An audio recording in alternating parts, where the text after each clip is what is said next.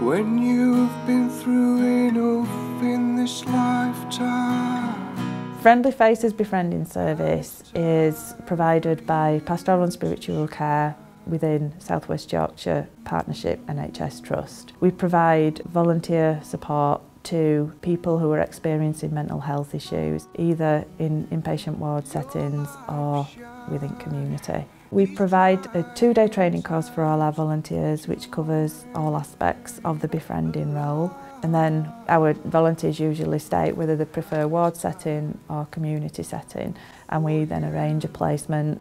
A couple of years ago I was very agoraphobic and very depressed and had a lot of anxiety. I got referred to the befriending service on an off chance. I met the person who volunteered uh, to support me and she was absolutely lovely and she really did change my life. Now, a couple of years later, um, I'm here uh, being uh, my own volunteer and, uh, and supporting somebody else. What I do on a weekly basis is I meet up with the person who I'm befriending and we meet for like uh, coffee or a drink somewhere. It's just about making them comfortable because a lot of these people have sort of isolated themselves and have not had the experience out in the world with other people.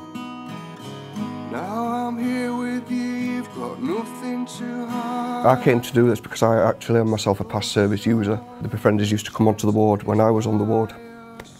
And I vowed when I was in here that I would come back and help. As a ward volunteer, I go onto the wards once a week for one hour and uh, integrate with the patients. We have fun with music and speaking to each other.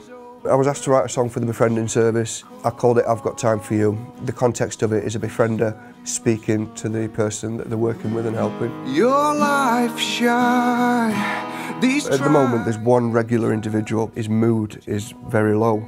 My main thing is just to be so positive. The befriending service says it all, the title befriending.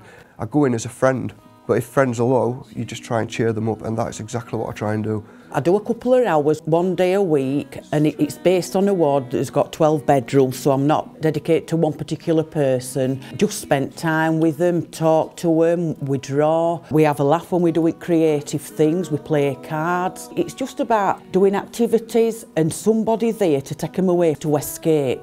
From what they're feeling. And also it's actually about letting them relate to you because you have trod its shoes and it's surprising how that opens up.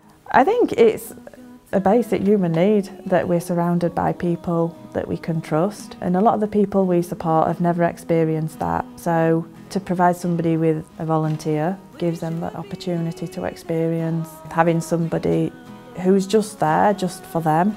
Just a couple of weeks ago I spent an entire hour talking about a video game because it made them happy and they want to talk about it and I think that's the, the most important part is sometimes people don't have a lot to say and they need to know that that that's okay. There's nothing more rewarding. There's nothing better than seeing people just be happy.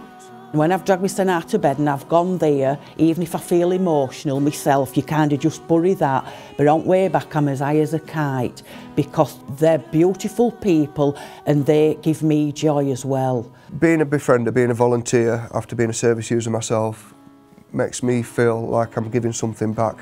It makes me feel like I can use my experience, as painful as it was, for a positive thing.